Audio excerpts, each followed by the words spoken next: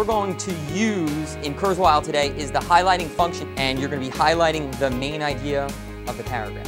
We first became interested in Kurzweil when we were looking for really access to print for many of our learning disabled students. It originally came into our district for special ed students, but I found a lot of success with the higher achieving students who they see the power of it. I said the nomadic herders adapted the conditions of the desert.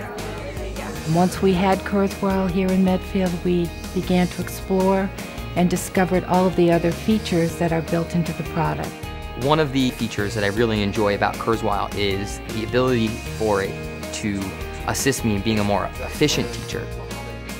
I'm able to not just highlight, but now I can extract those highlights and pull the, the class to the next level. I'm printing out a copy of these column notes for everybody to have, so you have a copy of them. The makeup of my class is a heterogeneous classroom with students ranging from very high achieving to struggling students. Um, there's students on individual education plans, on 504 plans in this classroom. There are students that will be recommended for honors classes, for middle and lower level classes. Uh, but regardless, I have them all here in this one classroom, and Kurzweil has done a very good job helping me to meet all the needs of them. It's been great at being able to reach that different profile of student. Some students like the visual, some kids really enjoy uh, the listening, the audio piece. The hijra.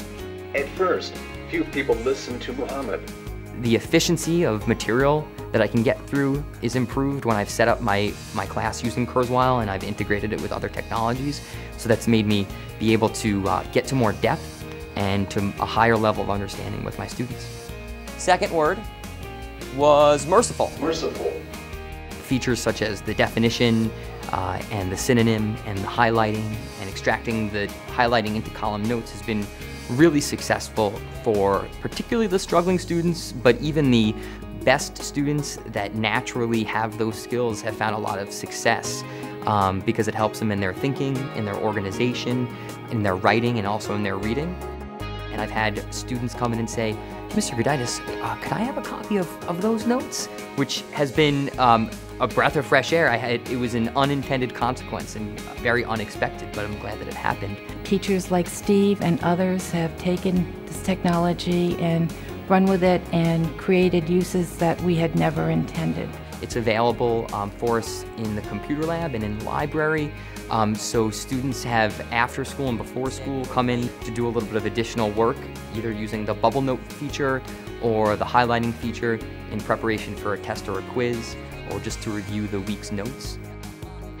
For a lot of kids, I found that the brainstorm to the outline to the split screen column notes has been awesome. And it's really taken kids writing to that next level. It's improved their organization and their ability to provide detail and build a really solid paragraph. So when they're over next year, over at the high school, they have a really solid understanding of what to write and how to write it. We've had great success because we've been able to take this technology from the isolation of a special education setting and integrate it into the larger classroom. It just shows that Kurzweil can really meet the needs of higher achieving students all the way um, to struggling, struggling learners.